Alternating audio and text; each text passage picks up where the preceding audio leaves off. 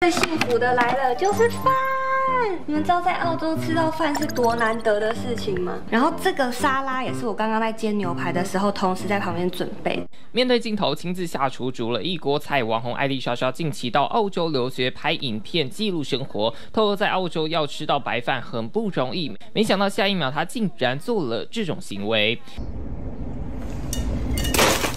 一大锅白饭想都没想，直接倒入垃圾桶。虽然艾丽莎莎发文时有解释，不是故意煮多倒掉，是真的在澳洲吃太饱了。但这解释网友不买单，痛批浪费食物。还有人说，艾丽莎莎每隔一段时间就有争议冒出来，她是故意想蹭流量。对此，艾丽莎莎回应：那个饭是忘记处理，因此音调不知道这样为什么不能丢掉。另外，针对酸民攻击，她也呛辣回应：觉得浪费的人，请给我地址，以后我有吃不完的。的东西寄到你家好了。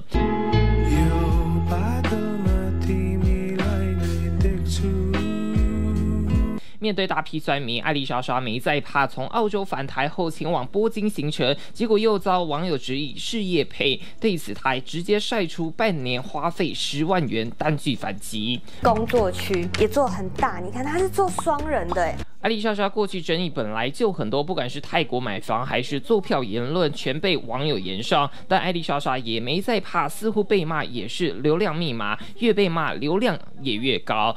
东闻新闻黄水锦林州在台北报道。